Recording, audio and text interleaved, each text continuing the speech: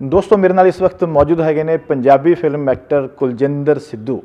ਤੁਸੀਂ ਅਕਸਰ ਫਿਲਮਾਂ ਦੇ ਵਿੱਚ ਇਹਨਾਂ ਨੂੰ ਦੇਖਿਆ ਹੋਣਾ, ਇਹਨਾਂ ਦੀਆਂ ਜੋ ਫਿਲਮਾਂ ਹੁੰਦੀਆਂ ਨੇ, ਉਹ ਕਾਫੀ ਜ਼ਿਆਦਾ ਜੋ ਸੋਸ਼ਲ ਸਾਡੇ ਮੁੱਦੇ ਹੈਗੇ ਨੇ, ਉਹਨਾਂ ਦੇ ਉੱਪਰ ਬਣਾਉਂਦੇ ਨੇ ਇਹ। ਤੇ ਹੁਣ ਇੱਕ ਨਵੀਂ ਫਿਲਮ ਲੈ ਕੇ ਆ ਰਹੇ ਨੇ। ਫਿਲਮ ਦੀ ਲਾਂਚਿੰਗ ਬੜੀ ਜਲਦੀ ਹੋਣ ਜਾ ਰਹੀ ਹੈ। ਫਿਲਮ ਦਾ ਨਾਮ ਹੈਗਾ ਜਮਰੌਦ। ਫਿਲਮ ਹੈ 1990 ਦੇ ਦਹਾਕੇ ਦੀ, ਜਦੋਂ ਕਿ ਪੰਜਾਬ ਦੇ ਵਿੱਚ ਖੜਕੂਵਾਦ ਦਾ ਬੋਲਬਾਲਾ ਸੀ ਤੇ ਆਮ ਜੋ ਮਾਪੇ ਹੁੰਦੇ ਸੀ, ਉਹਨਾਂ ਨੂੰ ਖੜਕਾਂ ਤੋਂ ਵੀ ਆਪਣੇ ਬੱਚਿਆਂ ਦਾ ਡਰ ਹੁੰਦਾ ਸੀ ਤੇ ਪੁਲਿਸ ਤੋਂ ਵੀ ਡਰ ਹੁੰਦਾ ਸੀ। ਪਰੰਤੂ ਉਸ ਵਕਤ ਵੀ ਲੋਕਾਂ ਦੇ ਮਨਾਂ ਦੇ ਵਿੱਚ ਜੋ ਪਿਆਰ ਪਲ ਰਿਹਾ ਸੀ, ਜੋ ਮੁਹੱਬਤ ਪਲ ਰਹੀ ਸੀ, ਉਸ ਵਿਸ਼ੇ ਨੂੰ ਲੈ ਕੇ ਬਣਾਈ ਹੋਈ ਫਿਲਮ ਹੈਗੀ ਹੈ ਬਾਕੀ ਦੀ ਗੱਲਬਾਤ ਤੇ ਫਿਲਮ ਦੇ ਬਾਬਤ ਆਪਾਂ ਜੋ ਵੀ ਕੁਐਸਚਨ ਨੇ, ਇਹਨਾਂ ਤੋਂ ਕਰਦੇ ਹਾਂ। ਬਹੁਤ ਸਾਰੀਆਂ ਗੱਲਾਂ ਹੈਗੀਆਂ ਨੇ ਕਰਨ ਵਾਲੀਆਂ ਫਿਲਮ ਬਾਰੇ ਕਿ ਫਿਲਮ 'ਚ ਕੀ ਕੁਝ ਲੈ ਕੇ ਆ ਰਹੇ ਨੇ। ਬਹੁਤ ਬਹੁਤ ਸਵਾਗਤ ਹੈ ਜੀ। ਥੈਂਕ ਯੂ ਵੈਰੀ ਮੱਚ ਜੀ। ਪਹਿਲੀ ਗੱਲ ਤਾਂ ਤੁਸੀਂ ਬੜੀ ਸੋਹਣੀ ਇੰਟਰੋ ਦਿੱਤੀ ਹੈ ਇਸ ਫਿਲਮ ਬਾਰੇ, ਦੋ ਲਾਈਨਾਂ 'ਚ ਹੀ। ਤੇ ਬਿਲਕੁਲ ਜਮਰੌਜ ਜਿਹੜੀ ਆ, ਉਹ ਕਹਾਣੀ ਹੈ ਇੱਕ ਇਹੋ ਜਿਹੇ ਪਰਿਵਾਰ ਦੀ ਜਿਹੜਾ ਦੋਨਾਂ ਪਾਸਿਆਂ ਵਿੱਚ ਪਿਸ ਰਿਹਾ। ਇਹ ਖਾੜਕੂ ਰੋਟੀ ਖਾ ਕੇ ਚੱਲ ਗਏ ਤੇ ਪੁਲਿਸ ਵਾਲੇ ਆ ਕੇ ਉਹਨੂੰ ਬਲੈਕਮੇਲ ਕਰ ਰਹੇ ਨੇ। ਸੋ ਇਹੋ ਜੀ ਘਰ ਘਰ ਦੀ ਕਹਾਣੀ ਸੀ ਉਸ ਵੇਲੇ। ਸੋ ਉਹੋ ਜਿਹੇ ਪਰਿਵਾਰ ਦੀ ਬੜੇ ਸੈਂਸੀਬਲ ਤੇ ਬੜੇ ਸੈਂਸਿਟਿਵ ਤਰੀਕੇ ਦੇ ਨਾਲ ਅਸੀਂ ਉਹ ਕਹਾਣੀ ਜਿਹੜੀ ਬਹੁਤ ਪਹਿਲਾਂ ਸਰਦਾਰ ਵਰਿਆਮ ਸਿੰਘ ਸੰਧੂ ਜਿਹੜੇ ਕਿ ਪੰਜਾਬੀ ਲਿਟਰੇਚਰ ਦੇ ਬੜੇ ਮਹਾਰਥੀ ਨੇ, ਬੜੇ ਉੱਗੇ ਰਾਈਟਰ ਨੇ, ਸੋ ਉਹਨਾਂ ਨੇ ਲਿਖੀ ਸੀ ਤੇ ਨਵਤੇਜ ਸੰਧੂ ਹੁਣਾਂ ਨੇ ਸੋਚਿਆ ਕਿ ਇਹ ਜਿਹੜੀ ਫਿਲ, ਗੱਲ ਹੈ ਕਹਾਣੀ ਹੈ, ਇਹਨੂੰ ਫਿਲਮਾਂਕਣ ਕਰਨਾ ਚਾਹੀਦਾ, ਇਹਦੀ ਫਿਲਮ ਦਾ ਰੂਪ ਬਣਨਾ ਚਾਹੀਦਾ। ਇਹ ਉਹਨਾਂ ਦਾ ਇੱਕ ਤਰੀਕੇ ਦਾ ਡ੍ਰੀਮ ਪ੍ਰੋਜੈਕਟ ਸੀਗਾ। ਸੋ ਮੇਰੇ ਨਾਲ ਜਦੋਂ ਉਹਨਾਂ ਨੇ ਸ਼ੇਅਰ ਕੀਤੀ ਮੈਂ ਖੁਦ ਲਿਟਰੇਚਰ ਪੜ੍ਹਦਾ ਬਹੁਤ ਤੇ ਮੈਂ ਇਹ ਕਹਾਣੀ ਪੜ੍ਹੀ ਹੋਈ ਸੀ ਮੈਨੂੰ ਲੱਗਾ ਕਿ ਆ ਕਮਾਲ ਤੁਸੀਂ ਸੋਚਿਆ ਤੇ ਡੈਫੀਨਿਟਲੀ ਆਮ ਔਨ ਬੋਰਡ ਮੈਂ ਕਰੂੰਗਾ ਇਹ ਕੰਮ ਜਦੋਂ ਵੀ ਤੁਸੀਂ ਇਹਨੂੰ ਉਦੋਂ ਪ੍ਰੋਡਿਊਸਰ ਔਨ ਬੋਰਡ ਨਹੀਂ ਸੀ ਕੋਈ ਵੀ ਮੈਂ ਕਿਹਾ ਜਦੋਂ ਕੋਈ ਪ੍ਰੋਡਿਊਸਰ ਤੁਹਾਡਾ ਔਨ ਬੋਰਡ ਹੋਇਆ ਤੇ ਆਲ ਬੀ देयर ਤੇ ਮੈਨੂੰ ਸਭ ਤੋਂ ਜ਼ਿਆਦਾ ਹੋ ਰਿਹਾ ਜੀ ਫਿਲਮ ਦਾ ਨਾਮ ਤੇ ਜਮਰੌਦ ਤੁਸੀਂ ਨਾਮ ਰੱਖਿਆ ਹੈਗਾ ਮਤਲਬ ਕੀ ਕੀ ਮਤਲਬ ਉਹਦਾ ਹਾਂ ਜਮਰੌਦ ਦੇਖੋ, ਜਮਰੌਦ ਇੱਕ ਕਿਲਾ ਹੈ ਜਮਰੌਦ ਦਾ ਜਿਹਨੂੰ ਕਦੀ ਕਿਸੇ ਨੇ ਜਿੱਤਿਆ ਨਹੀਂ ਸੀ ਤੇ ਮਹਾਰਾਜਾ ਰਣਜੀਤ ਸਿੰਘ ਦੇ ਜਰਨੈਲ ਹਰੀ ਸਿੰਘ ਨੇ ਉਹਨੂੰ ਜਿੱਤਿਆ। ਸੋ ਉਸ ਕਿਲੇ ਨੂੰ ਜਿੱਤਣਾ ਮਤਲਬ ਇੰਪੋਸੀਬਲ ਨੂੰ ਪੋਸੀਬਲ ਕਰਨਾ ਸੀਗਾ। ਸੋ ਪੰਜਾਬ ਦੇ ਵਿੱਚ ਵੀ ਜਦੋਂ ਕੋਈ ਇੰਪੋਸੀਬਲ ਨੂੰ ਪੋਸੀਬਲ ਕਰ ਦਿੰਦਾ ਨਾ ਮੁਮਕਿਨ ਨੂੰ ਮੁਮਕਿਨ ਕਰ ਦਿੰਦਾ, ਤੇ ਉਹਨੂੰ ਕਹਿੰਦੇ, ਯਾਰ ਤੂੰ ਤਾਂ ਜਮਰੌਦ ਦਾ ਕਿਲਾ ਫਤਿਹ ਕਰ ਲਿਆ। ਸੋ ਇਸ ਕਹਾਣੀ ਦੇ ਵਿੱਚ ਵੀ ਇਹੀ ਗੱਲ ਨੂੰ ਇਸ ਤਰੀਕੇ ਨਾਲ ਯੂਜ਼ ਕੀਤਾ ਗਿਆ। ਦੋ ਤਿੰਨ ਜਗ੍ਹਾ ਤੇ ਇਹਦਾ ਜ਼ਿਕਰ ਹੁੰਦਾ। ਇੱਕ ਤਾਂ ਤੁਸੀਂ ਟ੍ਰੇਲਰ ਦੇ ਵਿੱਚ ਦੇਖਿਆ ਹੋਣਾ ਕਿ ਫਾਦਰ ਕਹਿ ਰਿਹਾ, ਉਹ ਜਮਰੌਦ ਦੇ ਕਿਲੇ ਤੇ ਝੰਡਾ ਚੜਾਉਣਾ ਹੀ ਪੁੱਤਰਾ। ਸੋ ਮਤਲਬ ਕਿ ਜਿੱਤਣਾ ਹੈ ਨੋ ਮੈਟਰ ਵਾਟ ਤੂੰ ਉੱਥੇ ਟਿਕਿਆ ਰਹਿ ਮਤਲਬ ਉਹਨੂੰ ਉਹ ਮੋਟੀਵੇਟ ਕਰ ਰਿਹਾ ਫਾਦਰ ਕਿ ਤੂੰ ਹੁਣ ਕੈਨੇਡਾ ਪਹੁੰਚਿਆ ਕਿਸੇ ਤਰੀਕੇ ਤੈਨੂੰ ਉੱਥੇ ਭੇਜਿਆ ਸੀ ਉਹਦਾ ਉੱਥੇ ਦਿਲ ਨਹੀਂ ਲੱਗ ਰਿਹਾ ਉਹਦਾ ਪਿਆਰ ਇੱਥੇ ਆ ਉਹਦੀ ਮਿੱਟੀ ਇੱਥੇ ਆ ਉਹਦਾ ਪਰਿਵਾਰ ਇੱਥੇ ਆ ਸੋ ਉਹ ਸਾਰੀਆਂ ਚੀਜ਼ਾਂ ਉਹ ਮਿਸ ਕਰ ਰਿਹਾ ਤੇ ਆਉਣਾ ਚਾਹੁੰਦਾ ਹੈ ਵਾਪਸ ਪਰ ਫਾਦਰ ਕਹਿ ਰਿਹਾ ਕਿ ਹਾਲਾਤ ਇਹੋ ਜਿਹੇ ਆ ਘਰ ਦੇ ਵੀ ਤੇ ਪੰਜਾਬ ਦਾ ਵੀ ਮਾਹੌਲ ਇਹੋ ਜਿਹਾ ਹੈ ਕਿ ਤੂੰ ਇੱਥੇ ਨਾ ਆ ਤੇਰਾ ਇੱਥੇ ਕੁਝ ਨਹੀਂ ਵੱਟੀ ਦਾ ਉੱਥੇ ਤੂੰ ਕਿਸੇ ਵੀ ਕਿਸੇ ਤਰੀਕੇ ਦੇ ਨਾਲ ਜਗਾੜ ਕਰਕੇ ਤੇ ਸੈੱਟ ਹੋਇਆ। ਸੋ ਅਲਟੀਮੇਟਲੀ ਉਹ ਸਾਰੀ ਗੱਲਬਾਤ ਜਿਹੜੀ ਆ ਫਿਲਮ 'ਚ ਬਹੁਤ ਗੱਲਾਂ ਰਿਵੀਲ ਹੋਣਗੀਆਂ। ਬਹੁਤ ਹੀ ਇਮੋਸ਼ਨਲ ਫਿਲਮ ਹੈ। ਸੋ ਆਲਰੇਡੀ ਇਹ OTT ਪਲੇਟਫਾਰਮ ਚੌਪਾਲ ਦੇ ਉੱਪਰ ਇਹ ਰਿਲੀਜ਼ ਹੋ ਚੁੱਕੀ ਹੈ। ਸੋ 10 ਦਸੰਬਰ ਨੂੰ ਅਸੀਂ ਇਹਨੂੰ ਲਾਂਚ ਕੀਤਾ ਸੀ। ਸੋ ਕੋਈ ਵੀ ਬੰਦਾ ਹੁਣ OTT ਜਿਹੜਾ ਚੈਨਲ ਹੈ ਚੌਪਾਲ ਉਹਨੂੰ ਡਾਊਨਲੋਡ ਕਰਕੇ ਤੇ ਐਪ ਨੂੰ ਡਾਊਨਲੋਡ ਕਰਕੇ ਆਪਣੇ ਟੀਵੀ ਤੇ ਆਪਣੇ ਘਰ ਬੈਠ ਕੇ ਦੇਖ ਸਕਦਾ। ਸਿੱਧੂ ਸਾਹਿਬ ਮੈਂ ਦੇਖਿਆ ਕਿ ਜਿਹੜਾ ਤੁਹਾਡਾ ਇਹ ਵਿਸ਼ਾ ਹੈਗਾ ਸਬਜੈਕਟ ਹੈਗਾ ਇਹਦੇ ਵਿੱਚ ਜਿਹੜਾ ਫੀਮੇਲ ਕੈਰੈਕਟਰ ਹੁੰਦਾ ਨਾ, ਆਮ ਫਿਲਮਾਂ ਦੇ ਵਿੱਚ ਆਪਾਂ ਦੇਖਦੇ ਹਾਂ ਵੀ ਦੋ ਚਾਰ ਗਾਣੇ ਪਾਤੇ ਹਨ, ਇੱਕ ਲਵ ਸਟੋਰੀ ਲੈ ਕੇ ਚਲਾਤੀ, ਕਾਫੀ ਫਿਲਮ ਦਾ ਹਿੱਸਾ ਉਹ ਲੈ ਜਾਂਦੇ ਨੇ। ਪਰੰਤੂ ਜਿਹੜਾ ਹੈਗਾ ਇਹ ਮੇਲ ਡੋਮੀਨੇਟ ਫਿਲਮ ਹੈਗੀ ਆ, ਕਿਉਂਕਿ ਜਜ਼ਬਾਤਾਂ ਨਾਲ ਜੁੜੀ ਹੋਈ ਹੈ ਨਾ ਬੰਦੇ ਦਾ ਇੱਕ ਹਰ ਰੂਪ ਦੇਖਣ ਨੂੰ ਮਿਲੂਗਾ ਤੇ ਇਸ ਤੇ ਐਸੇ ਮੌਕੇ ਦੇ ਵਿੱਚ ਸਾਰੀ ਜੋ ਜ਼ਿੰਮੇਵਾਰੀ ਆ ਤੁਹਾਡੇ ਮੋਢਿਆਂ ਤੇ ਆ ਜਾਂਦੀ ਹੈ ਫਿਲਮ ਨੂੰ ਚੱਕ ਕੇ ਲੈ ਜਾਣ ਦੀ। ਨਹੀਂ ਫਿਲਮ ਇੱਕ ਮਤਲਬ ਚੁਣੌਤੀਪੂਰਨ ਜਿਹਨੂੰ ਆਪਾਂ ਕਹਿ ਸਕਦੇ ਆ ਭੂਮਿਕਾ ਹੈਗੀ ਤੁਹਾਡੀ। ਹਾਂ ਡੈਫੀਨਿਟਲੀ ਚੁਣੌਤੀਪੂਰਨ ਭੂਮਿਕਾ ਹੈਗੀ ਆ ਤੇ ਮੈਂ ਇਹੋ ਜਿਹਾ ਕੋਈ ਸੈਂਸਿਟਿਵ ਤੇ ਇਹੋ ਜਿਹਾ ਇਮੋਸ਼ਨਲ ਕੈਰੈਕਟਰ ਮੈਂ ਪਹਿਲਾਂ ਕਦੇ ਨਹੀਂ ਸੀ ਕੀਤਾ ਸੋ ਮੇਰਾ ਨਵਾਂ ਰੰਗ ਤੇ ਨਵਾਂ ਉਹ ਦੇਖਣ ਨੂੰ ਆਊਗਾ। ਪਰ ਫਿਲਮ ਦੀ ਜੇ ਜ਼ਿੰਮੇਵਾਰੀ ਦੀ ਗੱਲ ਕਰੀਏ ਤੇ ਇਹਦੀ ਜ਼ਿੰਮੇਵਾਰੀ ਸਰਦਾਰ ਸੋਹੀ ਨੇ ਚੱਕੀ ਹੋਈ ਆ ਆਪਣੇ ਮੋਢਿਆਂ ਤੇ।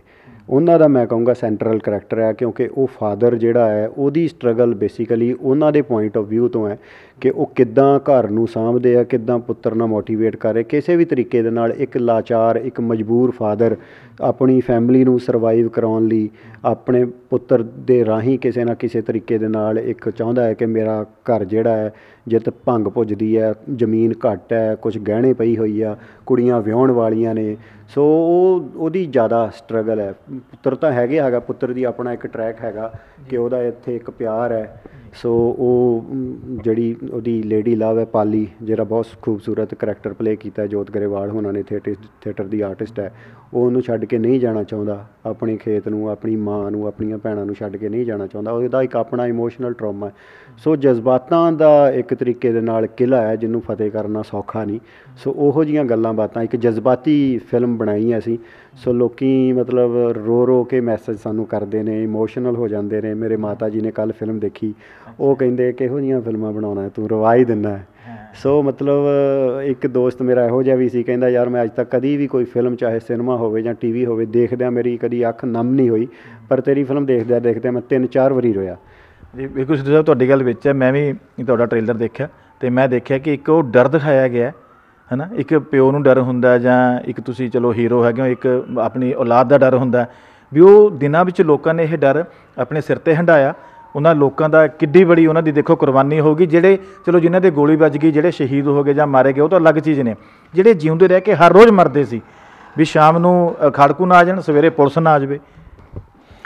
ਹਾਂ ਬਿਲਕੁਲ ਜੀ। ਉਹ ਟਾਈਮ ਜਿਹੜਾ ਸੀਗਾ ਪੰਜਾਬ ਨੇ ਦੇਖਿਆ ਪੰਜਾਬ ਦੇ ਲੋਕਾਂ ਨੇ ਹੰਡਾਇਆ ਉਹ ਯਾਦਾਂ ਅਜੇ ਵੀ ਕਾਇਮ ਨੇ। ਮੈਂ ਵੀ ਅੰਮ੍ਰਿਤਸਰ ਦਾ ਰਹਿਣ ਵਾਲਾ ਮੈਂ ਵੀ ਉਹ ਬਹੁਤ ਕੁਝ ਉਸ ਸਮੇਂ ਨੂੰ ਦੇਖਿਆ। ਮੈਂ ਮਤਲਬ ਕਾਲਜ ਪੜ੍ਹਦੇ ਹੋਏ ਵੀ ਸਾਡੇ ਕਾਲਜ ਦੇ ਨਾਲ ਦੇ ਮੁੰਡੇ ਹੀ ਕੁਝ ਪੁਲਿਸ 'ਚ ਭਰਤੀ ਹੁੰਦੇ ਸੀ ਕੁਝ ਖਾੜਕੂਆਂ 'ਚ ਜਾਂਦੇ ਸੀ, ਫਿਰ ਆਪਸ 'ਚ ਲੜ ਲੜ ਮਰਦੇ ਸੀ।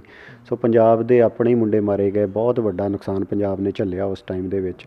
ਸੋ ਉਹ ਤਰਾਸਦੀ ਉਹ ਦੁਖਾਂਤ ਜਿਹੜਾ ਵਾ, ਉਹ ਦੁਬਾਰਾ ਕਦੀ ਸਮਾਂ ਉਹ ਜਿਹਾ ਨਾ ਆਵੇ। ਸੋ ਇਸੇ ਕਰਕੇ ਹੀ ਅਸੀਂ ਇਹੋ ਜੀਆਂ ਕਹਾਣੀਆਂ, ਇਹੋ ਜੀਆਂ ਸੁਚੇਤ ਕਰਨ ਵਾਲੀਆਂ ਕਹਾਣੀਆਂ ਸਾਹਮਣੇ ਲਿਆਉਂਦੇ ਆ ਸਿਨੇਮਾ ਦੇ ਰਾਹੀਂ ਕਿ ਹਿਸਟਰੀ ਜਿਹੜੀ ਹੈ, ਮਾੜੀ ਹਿਸਟਰੀ ਖਾਸ ਤੌਰ ਤੇ ਜਿਹੜੀ ਆ ਉਹ ਆਪਣੇ ਆਪ ਨੂੰ ਰਿਪੀਟ ਨਾ ਕਰੇ। ਜੇ ਆਪਾਂ ਹਿਸਟਰੀ ਤੋਂ ਸਬਕ ਨਹੀਂ ਲੈਂਦੇ ਲੈਸਨ ਨਹੀਂ ਲੈਂਦੇ ਆਪਣੇ ਇਤਿਹਾਸ ਤੋਂ ਤੇ ਉਹ ਕਹਿੰਦੇ ਫਿਰ ਇਤਿਹਾਸ ਆਪਣੇ ਆਪ ਨੂੰ ਦੁਹਰਾਉਂਦਾ ਰਹਿੰਦਾ। ਸੋ ਇਤਿਹਾਸ ਤੋਂ ਲੈਸਨ ਜ਼ਰੂਰ ਲੈਣਾ ਚਾਹੀਦਾ। ਕਈ ਲੋਕ ਸਾਨੂੰ ਇਹ ਵੀ ਕਹਿ ਦਿੰਦੇ ਯਾਰ ਤੁਸੀਂ ਉਹ ਦੌਰ ਤੇ ਕਿਉਂ ਜਾਂਦੇ ਹੋ? ਕਿਉਂ ਵਾਪਸ ਜਾਂਦੇ ਹੋ? ਕਿਉਂ ਰੀਵਿਜ਼ਿਟ ਕਰਦੇ ਹੋ? ਕਿਉਂ ਸਾਨੂੰ ਰਵਾਉਂਦੇ ਹੋ? ਕਿਉਂ ਯਾਦਾਂ ਦਿਵਾਉਂਦੇ ਹੋ? ਪਰ ਅਸੀਂ ਕਹਿੰਦੇ ਕਿ ਨਹੀਂ ਸਾਨੂੰ ਯਾਦ ਕਰਨਾ ਚਾਹੀਦਾ। ਹਿਸਟਰੀ ਆਪਾਂ ਪੜ੍ਹਦੇ ਹੀ ਕਿਉਂ ਆ ਫਿਰ? ਫਿਰ ਤਾਂ ਹਿਸਟਰੀ ਸਬਜੈਕਟ ਹੀ ਨਹੀਂ ਹੋਣਾ ਚਾਹੀਦਾ। ਜੇ ਹਾਂ ਭਵਿੱਖ ਦੀ ਸਿਹਤ ਦੇ ਲਈ ਇਹ ਜ਼ਰੂਰੀ ਹੈ ਸਾਰੀਆਂ ਗੱਲਾਂ।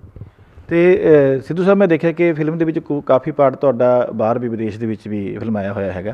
ਕੀ ਕੀ ਮਤਲਬ ਫਿਰ ਤੁਸੀਂ ਜਾਨ ਬਚਾ ਕੇ ਬਾਹਰ ਭੇਜਦੇ ਨੇ ਤੁਹਾਨੂੰ ਤੁਹਾਡੀ ਫੈਮਿਲੀ ਹਾਂ, ਦੇਖੋ ਟ੍ਰੇਲਰ ਦੇ ਵਿੱਚ ਜਿੰਨੀ ਕੁ ਸਮਝ ਆ ਰਹੀ ਹੈ ਉਹਦੇ ਹਿਸਾਬ ਨਾਲ ਤਾਂ ਇਹੀ ਹੈ ਫਿਲਮ ਦੀ ਕਹਾਣੀ ਮੈਂ ਜ਼ਿਆਦਾ ਖੋਲਣੀ ਨਹੀਂ ਅਜੇ ਪਰ ਹਾਂ, ਉਹ ਪੁੱਤਰ ਨੂੰ ਜਾਣਾ ਪੈਂਦਾ ਹੈ ਮਜਬੂਰੀ ਦੇ ਵਿੱਚ ਤੇ ਬਾਹਰ ਜਾ ਕੇ ਉਹ ਕਿੰਨਾ ਹਾਲਾਤਾਂ ਵਿੱਚ ਰਹਿ ਰਿਹਾ, ਕਿਸ ਤਰੀਕੇ ਦੇ ਨਾਲ ਉੱਥੇ ਜਾ ਕੇ ਵੀ ਉਹਨੂੰ ਕੰਪਰੋਮਾਈਜ਼ ਕਰਨਾ ਪੈਂਦਾ ਹੈ। ਉੱਥੇ ਜਾ ਕੇ ਇੱਕ ਕੁੜੀ ਹੈ ਜਿਹੜੀ ਯੂਪੀ ਦੀ ਹੈ ਮਤਲਬ ਬਹੁਤ ਸਾਰੇ ਕਲਚਰਲ ਡਿਫਰੈਂਸਿਸ ਨੇ ਰਿਲੀਜੀਅਸ ਡਿਫਰੈਂਸਿਸ ਨੇ ਹਨਾ ਤੇ ਉਹਦੇ ਬਾਵਜੂਦ ਉਹਨੂੰ ਕੰਪਰੋਮਾਈਜ਼ ਕਰਕੇ ਉਹਦੇ ਨਾਲ ਵਿਆਹ ਕਰਾਉਣਾ ਪੈਂਦਾ ਸੋ ਇਹ ਝਲਕ ਜਿਹੜੀਆਂ ਉਹਦੇ ਚ ਮਿਲ ਰਹੀਆਂ ਨੇ ਤੋਂ ਅੱਗੇ ਕੀ ਹੁੰਦਾ ਬਹੁਤ ਸਾਰੇ ਅ, ਮੋੜ ਆਉਂਦੇ ਨੇ ਕਹਾਣੀ ਦੇ ਵਿੱਚ ਟਵਿਸਟ ਟਰਨ ਹੁੰਦੇ ਨੇ ਬੈਕ ਐਂਡ ਫੋਰਥ ਚੱਲਦੀ ਆ ਫਿਲਮ ਕਦੀ ਮਤਲਬ ਫਲੈਸ਼ਬੈਕ ਵਿੱਚ ਜਾਂਦੀ ਆ।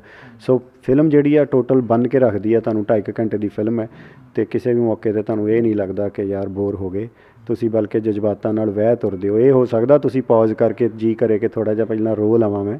ਸੋ ਮੈਨੂੰ ਲੱਗਦਾ ਕਿ ਇਮੋਸ਼ਨਸ ਪਹਿਲੀ ਵਾਰ ਇੱਕ ਫਿਲਮ ਹੈ ਪੰਜਾਬ ਦੀ ਪੰਜਾਬੀ ਦੀ ਕਿ ਜਿਹੜੀ ਇੰਨੀ ਇਮੋਸ਼ਨਲ ਕਰ ਰਹੀ ਆ। ਕੋਈ ਇੱਕ ਗੁਜ਼ਾਰਿਸ਼ ਫਿਲਮ ਸੀਗੀ ਜਿਹਨੂੰ ਦੇਖ ਕੇ ਅਜੀਬ ਜਿਹਾ ਤੇ ਨਮ ਹੁੰਦਾ ਸੀ ਬੰਦਾ, ਉਹਦੀ ਬੇਵਸ ਰਿਤਿਕ ਨੇ ਬੜਾ ਕਮਾਲ ਦਾ ਕੰਮ ਕੀਤਾ ਸੀ, ਉਹਦੀ ਬੇਵਸੀ ਨੂੰ ਦੇਖ ਕੇ ਜਾਂ ਬਲੈਕ ਫਿਲਮ ਸੀਗੀ। ਕੋਈ ਇਹੋ ਜੀਆਂ ਹਿੰਦੀ ਫਿਲਮਾਂ ਦੇ ਵਿੱਚ ਤਾਂ ਫਿਲਮਾਂ ਬਣਦੀਆਂ ਨੇ ਜਿਹੜੀਆਂ ਬਹੁਤ ਸੈਂਸਿਟਿਵ ਤੇ ਸੈਂਸੀਬਲ ਢੰਗ ਦੇ ਨਾਲ ਬਣਾਈਆਂ ਜਾਂਦੀਆਂ ਨੇ ਤੇ ਜਿਹੜੀਆਂ ਤੁਹਾਨੂੰ ਜਜ਼ਬਾਤੀ ਕਰਦੀਆਂ ਨੇ ਕਹਾਣੀ ਦੇ ਨਾਲ। ਜੀ ਕਰਦਾ ਹੈ ਕਰੈਕਟਰ ਨੂੰ ਦੇਖ ਕੇ ਤੁਹਾਡਾ ਰੋਣ ਨੂੰ। ਸੋ ਪੰਜਾਬੀ ਦੇ ਵਿੱਚ ਮੈਨੂੰ ਲੱਗਦਾ ਉਹਨਾਂ ਤੋਂ ਵੀ ਕਿਤੇ ਉੱਪਰ ਦੀ ਇਹ ਫਿਲਮ ਹੈ ਜਿਹੜੀ ਤੁਹਾਨੂੰ ਆਪਣੇ ਨਾਲ ਲੈ ਕੇ ਤੁਰਦੀ ਹੈ ਤੇ ਤੁਹਾਨੂੰ ਇਮੋਸ਼ਨਲ ਕਰਦੀ ਆ। ਸੋ ਇਨਸਾਨ ਦੇ ਵਿੱਚ ਸਾਰੇ ਜਿਹੜੇ ਜਜ਼ਬਾਤ ਨੇ ਉਹਨਾਂ ਦਾ ਉਭਾਰ ਹੋਣਾ ਚਾਹੀਦਾ ਹੈ। ਆਪਾਂ ਜਿੱਥੇ ਹੱਸਦੇ ਖੇਡਦੇ ਆ ਕਦੀ ਰੋਣ ਨੂੰ ਜੀ ਕਰੇ ਰੋਣਾ ਵੀ ਚਾਹੀਦਾ ਗੁੱਸਾ ਕਰਨ ਨੂੰ ਜੀ ਕਰੇ ਉਹ ਵੀ ਕਰਨਾ ਚਾਹੀਦਾ ਕਿਉਂਕਿ ਸਾਰੇ ਜੇ ਆਪਾਂ ਆਪਣੇ ਅੰਦਰੋਂ ਗੁਬਾਰ ਕੱਢਾਂਗੇ ਨਹੀਂ, ਤੇ ਫਿਰ ਅੰਦਰ ਹੀ ਅੰਦਰ ਕੱਢਾਂਗੇ ਤੇ ਫਿਰ ਸੋ ਜ਼ਰੂਰੀ ਹੈ। ਸੋ ਅਸੀਂ ਇਸ ਵਾਰੀ ਇਸ ਕਹਾਣੀ ਦੇ ਨਾਲ ਹੀ ਲੋਕਾਂ ਨੂੰ ਰਵਾ ਰਹੇ ਹਾਂ ਤੇ ਇਹ ਠੀਕ ਹੈ ਵੀ ਜ਼ਰੂਰੀ ਹੈ। ਤੇ ਸਿੱਧੂ ਸਾਹਿਬ, ਇੱਕ ਮੈਨੂੰ ਬੜੀ ਵਧੀਆ ਚੀਜ਼ ਲੱਗੀ ਟ੍ਰੇਲਰ ਦੇ ਵਿੱਚ ਕਿ ਪੁਲਿਸ ਵਾਲੇ ਦਾ ਰੋਲ ਤੇ ਉਹਦੇ ਜਿਹੜੇ ਡਾਇਲੌਗ ਸੀਗੇ, ਉਹ ਵਾਕਈ ਇਦਾਂ ਸੀਗਾ ਵੀ ਅੱਜ ਕੱਲ ਅਸੀਂ ਦੇਖ ਰਹੇ ਹਾਂ ਕਿ ਹੁਣ ਤੱਕ ਪੁਲਿਸ ਵਾਲਿਆਂ ਨੂੰ ਸਜ਼ਾਵਾਂ ਮਿਲ ਰਹੀਆਂ ਨੇ ਉਹਨਾਂ ਕੇਸਾਂ ਦੇ ਵਿੱਚ, ਹਨਾ? ਤੇ ਬਹੁਤ ਸਾਰੇ ਲੋਕ ਮਾਰੇ ਹੋਏ ਨੇ ਤੇ ਹੁਣ ਨਿਕਲ ਕੇ ਸਾਹਮਣੇ ਆ ਰਹੀਆਂ ਨੇ ਚੀਜ਼ਾਂ ਵੀ ਇਹ ਸਾਰੇ ਨਜਾਇਜ਼ ਮਾਰੇ ਗਏ ਸੀ। ਸਿਰਫ ਆਪਣੀ ਐਨਿਮਿਟੀ ਵਾਸਤੇ ਜਾਂ ਆਪਣਾ ਇੱਕ ਰੋਬ ਜਾਂ ਵਰਦੀ ਦਿਖਾਉਣ ਵਾਸਤੇ ਮਾਰੇ ਗਏ ਸੀ। ਉਹ ਚੀਜ਼ ਮੈਂ ਦੇਖਦਾ ਕਿ ਪੁਲਿਸ ਵਾਲਿਆਂ ਦੇ ਜਿਹੜੇ ਡਾਇਲੌਗ ਹੈ ਫਿਲਮ ਦੇ ਬੜੇ ਜ਼ਬਰਦਸਤ ਨੇ। ਖਾਸ ਕਰਕੇ ਪੁਲਿਸ ਦਾ ਡਰ ਦਿਖਾਉਣ ਵਾਸਤੇ ਮਤਲਬ ਇੱਕ ਐਕਸਟ੍ਰੀਮਿਸਟ ਦਿਖਾਇਆ ਹੋਇਆ ਉਹ ਬੰਦਾ। ਹਾਂ, ਬਿਲਕੁਲ, ਕਿਉਂਕਿ ਇਹੋ ਜਿਹੇ ਕਰਪਟ ਪੁਲਿਸ ਅਫਸਰ ਸੀਗੇ, ਜਿੱਦਾਂ ਤੁਸੀਂ ਕਿਹਾ ਕਿ ਹੁਣ ਵੀ ਸਜ਼ਾਵਾਂ ਭੋਗ ਰਹੇ ਨੇ, ਕਈ ਨਹੀਂ ਵੀ ਭੋਗ ਰਹੇ ਕਈਆਂ ਨੇ ਸਬੂਤ ਹੀ ਨਹੀਂ ਛੱਡੇ।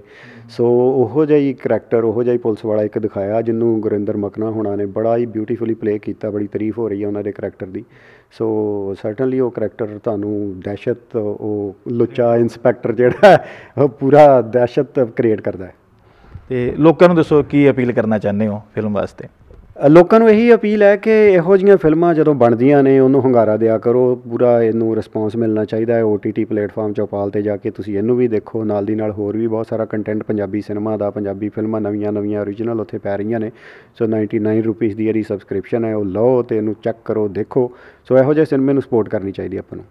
ਠੀਕ ਹੈ ਜੀ। ਬਹੁਤ ਬਹੁਤ ਸ਼ੁਕਰੀਆ ਕੁਲਿੰਦਰ ਸਿੱਧੂ ਸਾਹਿਬ। ਗੱਲਬਾਤ ਕਰਨ ਵਾਸਤੇ best of the luck thank you very so ਇੱਕ ਬਹੁਤ ਸੋਹਣੇ ਮੁੱਦੇ ਨੂੰ ਲੈ ਕੇ ਕੁਲਜਿੰਦਰ ਸਿੱਧੂ ਵੱਲੋਂ ਫਿਲਮ ਬਣਾਈ ਗਈ ਹੈ, ਕਿਉਂਕਿ ਜਮਰੌਦ ਫਿਲਮ ਦਾ ਨਾਮ ਹੀ ਦੱਸਦਾ ਹੈ ਕਿ ਫਿਲਮ ਦੇ ਵਿੱਚ ਕੁਝ ਅਜਿਹਾ ਦਿਖਾਇਆ ਗਿਆ ਜਿਹੜਾ ਕਿ ਉਸ ਵਕਤ ਕਰਨਾ ਬੜਾ ਔਖਾ ਸੀ, ਕਿਉਂਕਿ ਅਸੀਂ ਅਕਸਰ ਗੱਲਾਂ ਦੇ ਵਿੱਚ ਕਹਿ ਜਾਂਦੇ ਹਾਂ ਕਿ ਤੂੰ ਕਿਹੜਾ ਜਮਰੌਦ ਦਾ ਕਿਲਾ ਢਾਲਿਆ। ਸੋ ਇਹ ਫਿਲਮ ਦਾ ਨਾਮ ਰੱਖਿਆ ਗਿਆ ਕਿਉਂਕਿ ਉਸ ਵਕਤ ਜਿੰਦਾ ਰਹਿਣਾ ਹੀ ਇੱਕ ਬਹੁਤ ਵੱਡੀ ਚੁਣੌਤੀ ਸੀ। ਸੋ ਫਿਲਮ ਜ਼ਰੂਰ ਦੇਖਣ ਜਾਓ ਤੇ ਜਾ ਕੇ ਕਮੈਂਟ ਬਾਕਸ ਦੇ ਵਿੱਚ ਦੱਸਣਾ ਕਿ ਤੁਹਾਨੂੰ ਫਿਲਮ ਕਿਹੋ ਜਿਹੀ ਲੱਗੀ।